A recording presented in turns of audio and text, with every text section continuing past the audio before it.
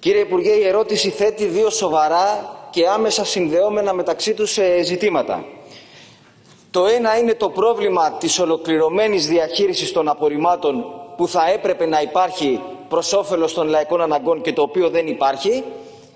Και το άλλο είναι το ζήτημα της υποβάθμισης της περιοχής του Θριασίου και συνολικά της Δυτικής Αττικής η οποία εδώ και δεκαετίες φορτώνεται αυτό το πρόβλημα της έλλειψης διαχείρισης απορριμμάτων και οι κάτοικοι της περιοχής το πληρώνουν πανάκριβα ακόμη και με την επιβάρηση της υγείας τους.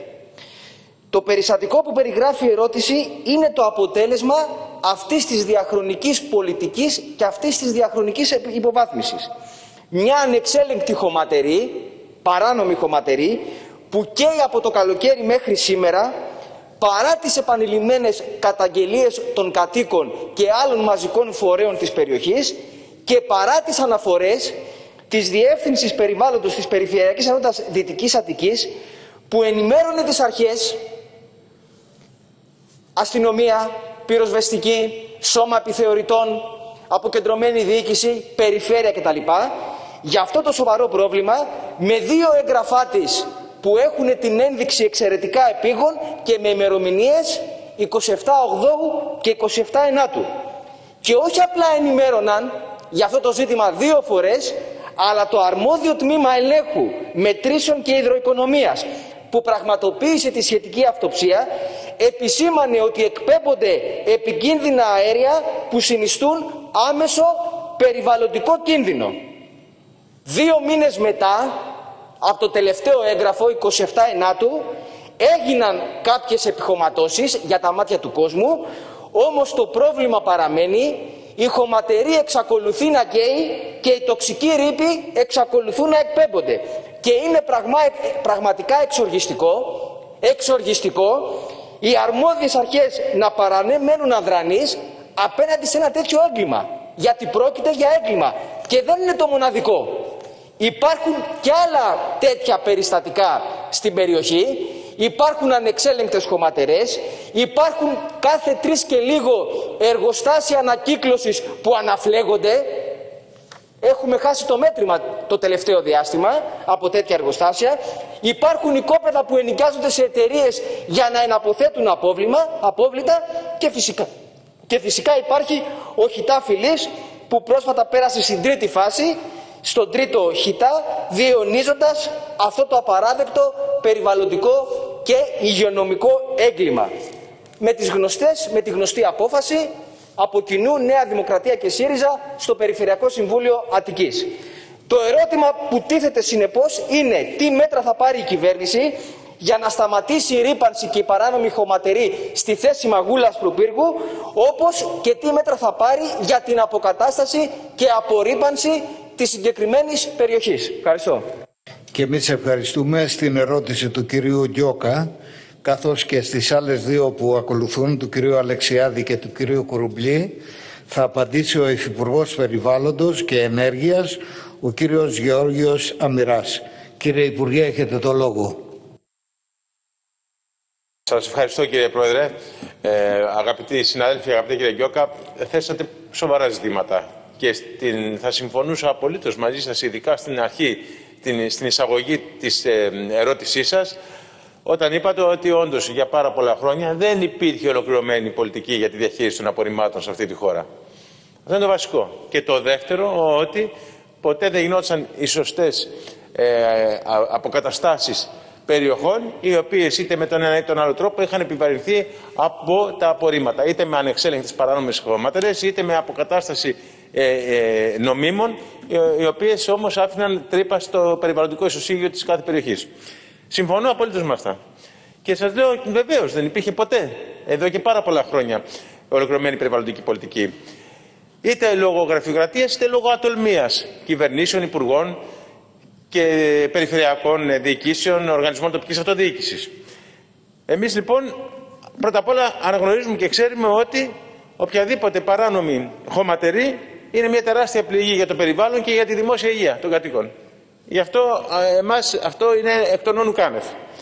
Εδώ και δεκαετίες επιτίδη βρίσκουν εκτάσεις, πηγαίνουν, μπαζώνουν, πετάνε απορρίμματα με ε, πολύ κακά αποτελέσματα στην ε, προστασία και στην ε, αποκατάσταση του οποιοδήποτε οικοσυστήματος αν έχει πληγεί. Όπως επίσης η χωροθέτηση σύγχρονων μονάδων παραγωγής ε, επεξεργασίας μάλλον απορριμμάτων δεν προχωρούσε. Εμείς όμως έχουμε άλλου είδους προτεραιότητες. Οι προτεραιότητες μας είναι και να προχωρήσουν αυτές οι μονάδες και να μόνο μιλώντας για την Αττική για παράδειγμα έχουν ξεκινήσει διαγωνισμοί για τη φυλή, για το σχιστό και το γραμματικό και βεβαίως θα μπουν λουκέτα και ήδη μπαίνουν λουκέτα σε κάθε παράνομη χωματερή, πέριξη οικισμών, αστικού ιστού ή σε ε, περιοχές της ευρύτερης φύσης είναι ή δεν είναι προστατευόμενες και εντασσόμενες στο δίκτυο Natura 2000.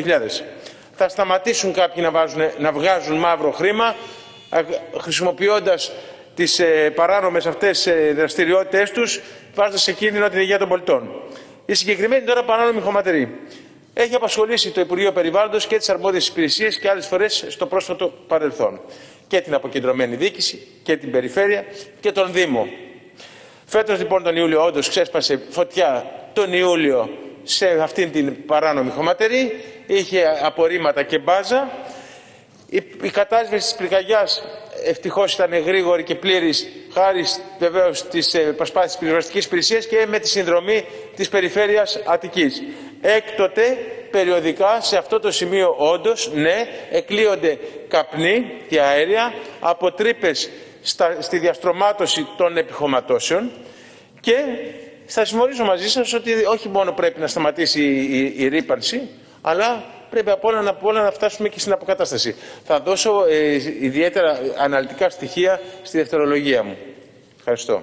Και εμείς ευχαριστούμε κύριε Υπουργέ. Το λόγο τώρα έχει για τη δευτερολογία του ο κύριος Γκιόκας. Κύριε Υπουργέ, επειδή μας παρακολουθεί και ο κόσμος από την περιοχή που ανησυχεί και για να μην θεωρητικολογούμε σε σχέση με το ζήτημα της πολιτικής διαχείρισης των απορριμμάτων, εμείς λέμε ότι συνεχίζεται η ίδια πολιτική που μας έφτασε ως εδώ, καμία αλλαγή δεν υπάρχει, αλλά να πάμε στο συγκεκριμένο. Υπάρχει απάντηση για το πώς προέκυψε αυτή η φλεγόμενη, όχι βάτος, η φλεγόμενη χωματερή. Υπάρχει απάντηση γιατί δεν έχει σταματήσει εδώ και τρεις μήνες να καίει παρά τις επανειλημμένες καταγγελίες των κατοίκων και παρά τις αναφορές της αρμόδιας υπηρεσίας περιβάλλοντος. Υπάρχει απάντηση γιατί δεν έχει γίνει ακόμη αποκατάσταση και απορρίπανση της περιοχής. Και κυρίως και το πιο σημαντικό, έχετε κάποια απάντηση για αυτά τα συνεχιζόμενα περιστατικά που προκύπτουν κάθε λίγο και λιγάκι στην περιοχή της Δυτικής Αττικής, στον Ασπρόπυργο, στην Ελευσίνα, στη Μάντρα, στη Φιλή κτλ. Γιατί εδώ δεν μιλάμε για ορισμένα μεμονωμένα περιστατικά. Ο κύριος Πρόεδρος τα ξέρει καλά. Σας το είπα και πριν. Η κατάσταση είναι γενικευμένη. Ανεξέλεγκτες χωματερές, εργοστάσια ανακύκλωσης που λαμπαδιάζουν ξαφνικά κάθε τρεις και λίγο, οικόπεδα που νοικιάζονται σε εταιρείες και οι οποίες εναποθέτουν απόβλητα και όλα αυτά, επειδή λέτε ότι θα βάλετε τάξη, όλα αυτά γίνονται αν όχι με την ανοχή, αν όχι με τη στήριξη, τουλάχιστον με την ανοχή των κρατικών αρχών. Να σας πω μόνο το εξής, για να καταλάβετε για το μέγεθος του προβλήματος. Τέσσερα χρόνια μετά την πλημμύρα στη Μάνδρα, την άλλη εβδομάδα συμπληρώνονται ακριβώς τέσσερα χρόνια. Μετά την πλημμύρα στη Μάνδρα, η λάσπη που μαζεύτηκε παραμένει ακόμη και σήμερα παρκαρισμένη στο λατομείο Τιτάν, ακόμη και σήμερα, και φυσικά δεν είναι μόνο λάσπη. Μέσα στη λάσπη υπάρχουν και διάφορα άλλα επικίνδυνα υλικά και απόβλητα. Για όλα αυτά λοιπόν που δημιουργούν αυτή την κατάσταση ασφυξίας στους κατοίκους του Ασπροπύργου, της Ελευσίνας, συνολικότερα της Δυτικής Αττικής υπάρχει κάποια απάντηση. Εμείς λέμε το ερώτημα είναι ρητορικό. Γιατί η πράξη και η πολιτική σας και η δική σας και των προηγούμενων κυβερνήσεων είναι αυτή που τελικά ευθύνεται και για το γεγονός ότι δεν υπάρχει μέχρι σήμερα ολοκληρωμένο σχέδιο διαχείρισης των απορριμμάτων προς όφελος των λαϊκών αναγκών και όχι των εργολάβων και όχι των εργολάβων και φυσικά για τη συνεχιζόμενη υποβάθμιση μιας ολόκληρης περιοχής που έχει γίνει η πίσω αυλή της Αθήνας. Γιατί οι κάτοικοι της συγκεκριμένης περιοχής, εκτός από την κατάσταση και την αναρχία με τις βιομηχανικές μονάδες που δημιουργούν τον κίνδυνο βιομηχανικού ατυχήματος, εκτός από τις διάφορες ελλείψεις, τις μεγάλες που υπάρχουν στην αντιπλημμυρική και αντιπυρική θωράκιση, εκτός από τις ελλείψεις στις δομές υγείας, μια και ακόμη βρισκόμαστε εν μέσω πανδημίας και μάλιστα ε, που αναζωπυρώνεται, εκτός όλων αυτών έχουν να αντιμετωπίσουν και τον καρκίνο των νομίμων και των παράνομων χωματερών. Και αυτό δεν είναι δική μας εκτίμηση, είναι επίσημα στοιχεία επιδημιολογικής μελέτης που έχουν δει το φως της δημοσιότητας. Γι' αυτά λοιπόν εμείς θέλουμε απάντηση. Για αυτά τα ζητήματα, για να σταματήσουν να υπάρχει αυτή η κατάσταση και για να μπορούν οι κάτοικοι της περιοχής να ζουν πραγματικά σε ένα ανθρώπινο περιβάλλον με σύγχρονα δικαιώματα, με σύγχρονες υποδομές και όχι σε ένα σκουπιδότοπο. Σκουπιδότοπο και κυριολεκτικά και μεταφορικά. Εσείς, και κλείνω με αυτό, το μόνο που κάνατε ως κυβέρνηση ήταν να πάνε να κάνετε μία φιέστα στο Χιτά, τον ανενεργό πρώτο Χιτά, δήθεν με τον ενεργειακό πάρκο και τον κύριο Πρωθυπουργό, δήθεν και να δημιουργήσετε την ψευδέστηση ότι ξεμπερδεύει ο κόσμος με το χιτά, ενώ ήδη σήμερα δημιουργεί το τρίτο χιτά στη φυλή. Ο τρίτος χιτά και κατά παράβαση κάθε περιβαλλοντικής νομοθεσίας, ακόμη και αυτής της κολοβής περιβαλλοντικής νομοθεσίας που υπάρχει σήμερα. Κύριε Υπουργέ, έχετε το λόγο. Ευχαριστώ κύριε Πρόεδρε. Θα ξεκινήσω λίγο με το τελευταίο που λέτε. Πρώτα απ' όλα, η περιβαλλοντική νομοθεσία στην Ελλάδα είναι από τις αυστηρότερες διεθνώς. Υπερτερεί σε αυστηρότητα από την ενωσιακή. Εάν διαφωνείτε σε αυτό, δεν ξέρω, ίσως θα πρέπει να κάνετε σύγκριση. Επίσης, εάν, τι να σας πω, στην Ευρωπαϊκή Ένωση βρισκόμαστε και έχουμε εμείς εθνική νομοθεσία πολύ πιο αυστηρή από την ενωσιακή. Όμως, ειδικά για το Δήμο της Φυλής, αδικείται κυρίως το Δήμο της Φυλής. Αυτά τα 1500 στρέμματα της πρώην χωματερής θα όχι απλώς θα πρασινίσουν, όχι απλώς θα γίνουν χώροι άθλησης, πολιτισμού, απλής δραστηριότητας των ε, πολιτών, αλλά θα δώσουν και δωρεάν ηλεκτρική ενέργεια στους κατοίκους. Αυτό φαντάζομαι ότι θα το βρίσκετε, θα το θεωρείτε θετικό. Δεν μπορώ να καταλάβω και δεν μπορώ να πιστέψω ότι εσείς, ένας άνθρωπος ευαισθητοποιημένος για αυτή την περιοχή, εκεί εκλέγεστε προφανώς, όχι δίπλα, εν πάση περιπτώσει, θα πείτε όχι στο να παίρνουν ηλεκτρική ενέργεια δωρεάν για το σπίτι τους οι κάτοικοι του Δήμου Φιλής. Και αξίζουν συγχαρητήρια και στο Δήμαρχο που έχει κινήσει τη διαδικασία. Αλλά είπατε ότι ρωτήσατε και για τις άλλες ανεξέλεγκτες ε, χωματερές που υπήρχαν ή υπάρχουν ακόμα στο θριάσιο πεδίο.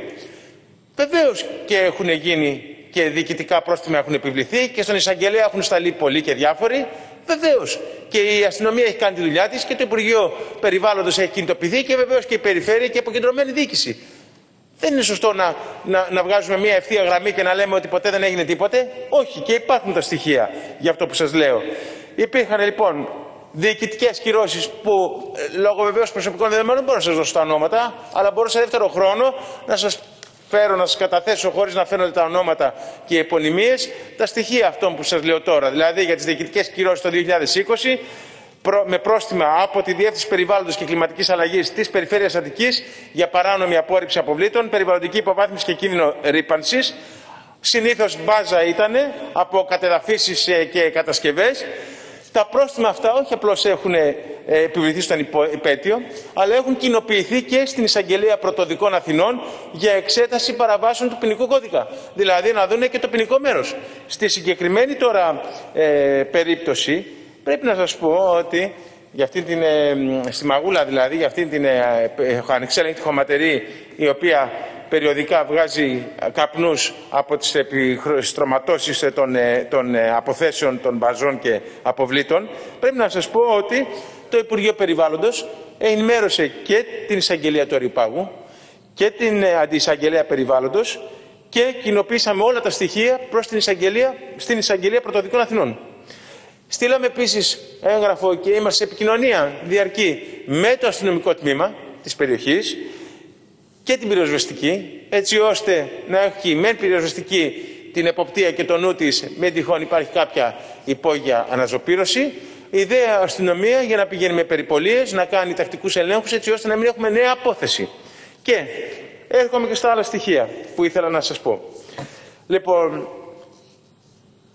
οι αστυνομικοί του Τμήματος Περιβαλλοντικής Προστασίας Ελληνικής Αστυνομίας στις ε, αρχές Σεπτεμβρίου πραγματοποίησαν βεβαίως ελέγχους, συνέλεξαν στοιχεία, έφτιαξαν το φάκελο, αυτό που στείλαμε εμείς και στις ε, δικαστικές αρχές και στις αγγελικές, διαπιστώνοντας ότι είχε απορριφθεί μια μεγάλη ποσότητα αποβλήτων σε μια έκταση 18-20 στρεμμάτων.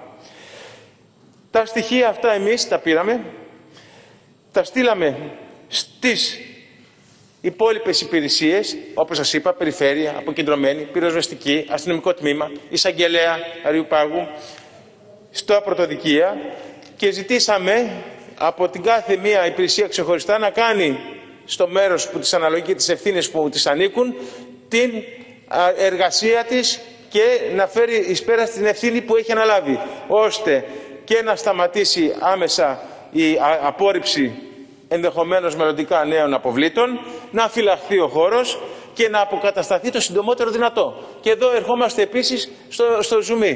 Πώς θα γίνει η αποκατάσταση και από ποιον θα γίνει.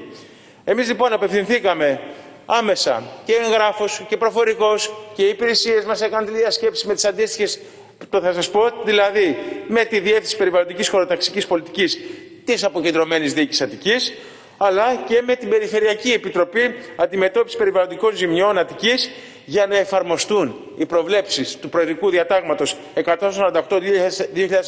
για την περιβαλλοντική ευθύνη και παράλληλα να συζητήσουμε μαζί τους τη χρηματοδότηση της αποκατάστασης περιοχής. Άρα θέλω να πω ότι εμείς λαμβάνουμε ως Υπουργείο Περιβάλλοντος αυτός είναι ο ρόλος μας. Και λαμβάνουμε τα μέτρα και κινητοποιούμε τις διοικητικέ αρχές και τις αγγελικές και τους άλλους παίκτες στο τραπέζι και όπως σας είπα υπάρχουν και οι πόροι που εμείς θα αντλήσουμε είτε από το Πράσινο Ταμείο, είτε από το Ταμείο Ανάκαμψης, είτε από άλλα χρηματοδοτικά εργαλεία, έτσι ώστε αυτές οι παλιές αμαρτίες των ανεξέλεγκτων χωματερών να πάψουν οριστικά και να προχωρήσουμε στην αποκατάσταση. Και σας ξαναλέω ότι για την αποκατάσταση είναι υπεύθυνη πάνω απ' όλα η Διεύθυνση της Περιβαλλοντικής Πολιτικής Αποκεντρωμένης, όπως αντιστοίχως και της Περιφέρειας η Επιτροπή Αντιμετώπισης Περιβαλλοντικών Ζημιών. Ευχαριστώ πολύ.